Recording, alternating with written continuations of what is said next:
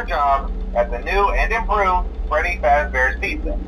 Uh, I'm here to talk you through some of the things you can expect to see during your first week here and to help you get started down this new and exciting career path. Uh, now, I want you to forget anything you may have heard about the old location, you know. Uh, some people still have a somewhat negative impression of the company, The restaurant was kind of left to rot for quite a while.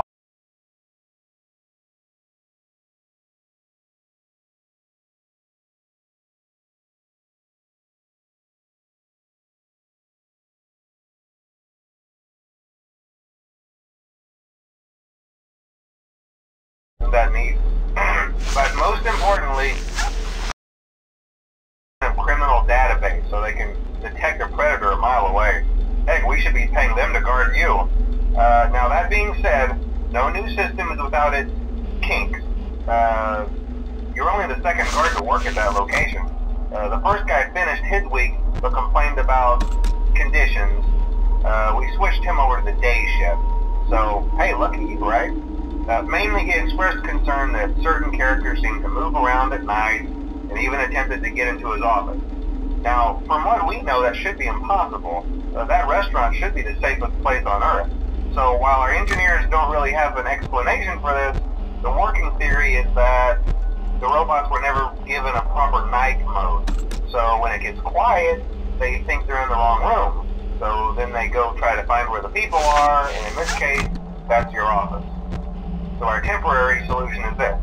There's a music box over by the prize counter, and it's rigged to be wound up remotely. So just every once in a while, switch over to the prize counter video feed and wind it up for a few seconds. It doesn't seem to affect all of the animatronics, but it does affect one of them. uh, and as for the rest of them, we have an even easier solution. You see, there may be a minor glitch in the system, something about the robot seeing you as an endoskeleton without its costume on and wanting to stuff you into the suit. So hey, we've given you an empty Freddy Fazbear head. Problem solved. You can put it on any time and leave it on for as long as you want.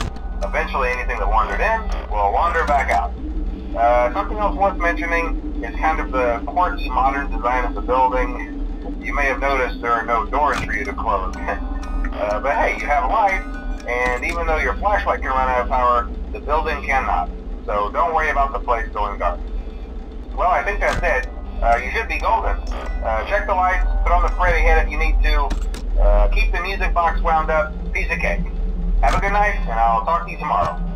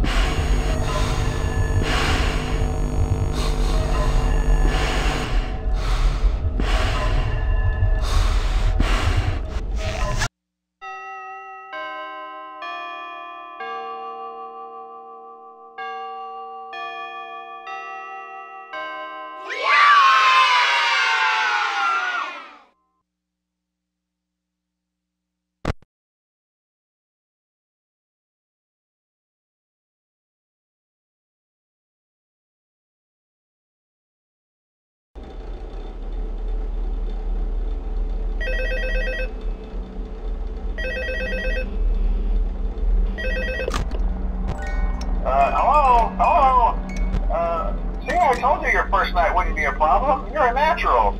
Uh, by now, I'm sure you've noticed the older models sitting in the back room. Uh, those are from the previous locations, and we just use them for parts now. The idea at first was to repair them. Uh, they even started retrofitting them with some of the newer technology, but they were just so ugly, you know, and the smell. Uh, uh, so the company decided to just go in a whole new direction and make them super kid-friendly. Uh, those older ones shouldn't be able to walk around, but if they do, the whole Freddy head trick should work on them too. So whatever. Uh, I love those old characters. Uh, did you ever see Foxy the Pirate? Oh wait, Foxy. Oh yeah, Foxy. Uh, hey listen, uh, that one was always a bit twitchy. Uh, I'm not sure if the Freddy head trick will work on Foxy. Uh, if for some reason he activates during the night and you see him standing at the far end of the hall, uh, just flash your light at him from time to time. Those older models would always get disoriented with bright light. It would cause a system restart or something. Uh, come to think of it, you might want to try that on any room where something undesirable might be. It might hold him in place for a few seconds. Uh, that glitch might carry over to the newer models too. Uh, one more thing. Don't forget the music box. I'll be honest, I never liked that puppet thing. It's always thinking, and it can go anywhere. Uh, I don't think a Freddy mask will fool it, so just don't forget the music box. Um, anyway, I'm sure it won't be a problem. Uh, have a good night, and I'll talk to you tomorrow.